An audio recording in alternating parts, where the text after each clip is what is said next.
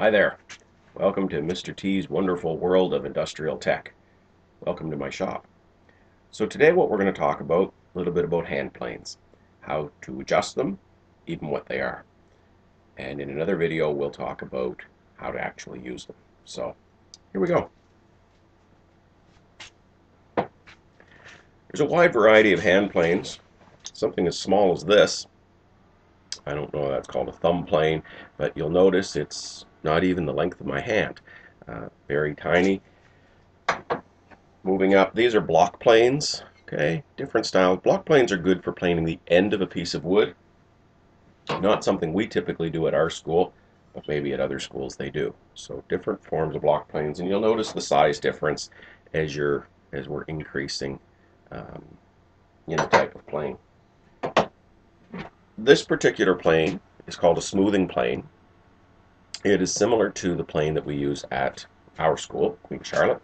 Um, the difference between this one and the ones we use, the ones we use at Queen Charlotte are a little longer. Uh, they're called jack planes. They go about mm, this much longer. Uh, they can actually range from 12 to about 15 or 16 inches long. So what I can do is I can show you how to adjust the plane using this particular model uh, and the application is the same for the jack plane. So when we look at a plane, there's a whole bunch of different parts. Uh, I don't require students to know all of the parts, but there are a few key ones to know. First of all, if we look at the shape of the plane, the plane almost looks like a boot, if you want to think of it that way, a boot or a sneaker. And if you think of it in that analogy, this would be the front or the toe.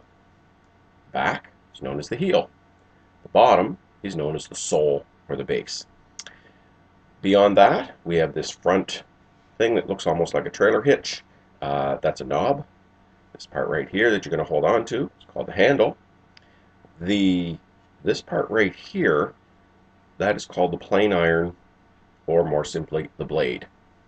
The big opening down here is the mouth, and there's a really, there's a brass colored wheel right here. That is the adjusting nut. And right under here, we can get right in there, uh, that little lever back there, which will slide from side to side, is called the adjusting lever. These are the two key ones that you need to know and you need to know how to adjust. So when you go to adjust a plane, you're going to take it and put the heel on the table. So you're going to sit the heel down on, on a workbench, nice and flat. Do a quick little adjustment here. So you're going to set it just like this. And in order to adjust it, you're going to look down the toe and along the sole. So it's going to be this sort of this motion here so you can see what's happening with that blade as you're doing your adjustments.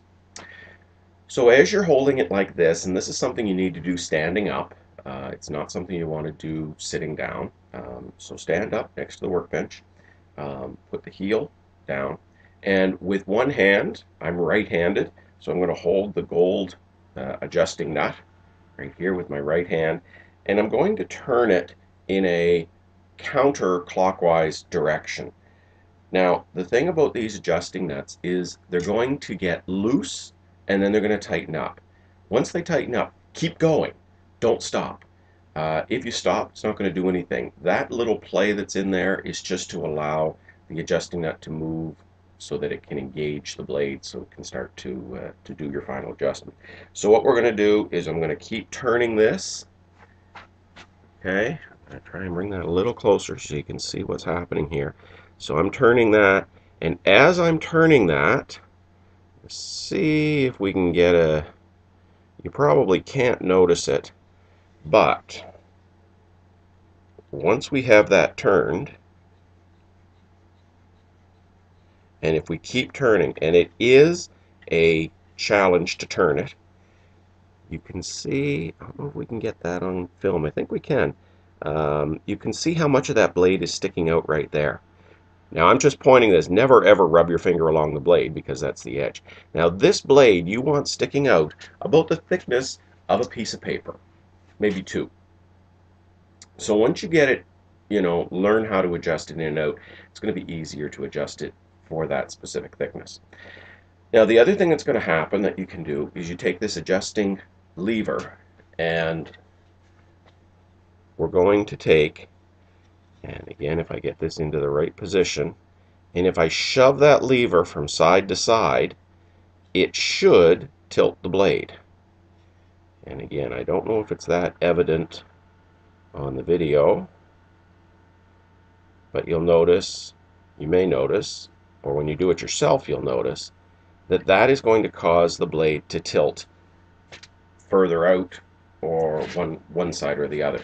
Your goal with that blade is to be parallel with the bit, with the plane base, with the sole, so that it's parallel. So I'm just going to make that quick adjustment. And once you get that adjusted, now you're going to turn your adjusting nut, again, back to your adjusting nut. You're going to turn it in the opposite direction from the first time. You're going to bring that blade back in. Now again, it's going to get really loose, but then it will tighten up. Keep going. So we're to, so if you'll notice, and you'll tell by feel, that'll spin very freely right this way. But now when I'm trying to back it up, it's sort of, it's really tight, but keep going, trust me. You're not going to break these things. They're pretty indestructible. So now when I turn that backwards, or now when I'm looking at it from this way, it's in a clockwise motion. I'm going to bring that back in. And that is sticking out about the thickness of a piece of paper. So if you're ever adjusting or touching the bottom, you always work from the heel to the toe because of the angle of the blade. You don't want to cut your finger. And I've got that out about the thickness of a piece of paper. Let's see if we can adjust that, see if you can see. A little challenging to see that, I'd say. Um, and now we're going to be ready to go. Make sure it's even all the way across. Make sure it's out just a little bit. And you're going to start your planing. As you're planing, if you find you're not getting any shavings, that simply means your blade's not out far enough. If you're jamming, it's chunking into your wood and it's, you know, you can't get any further, that just means your blade's out too far. Make your proper adjustments. Anyway, so that's our plane, the plain truth for today. I certainly hope that you have a great day.